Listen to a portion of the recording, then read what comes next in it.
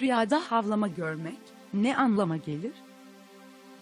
Rüyada gördüklerinizi sizin için yorumluyoruz.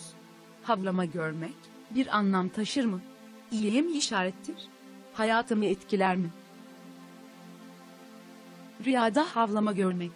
Havlama boş boğaz ve dedikodu olarak yorumlanır. Devamını Rüya Tabirleri kitabı.com'da okumak için aşağıdaki bağlantıya linki tıklayın.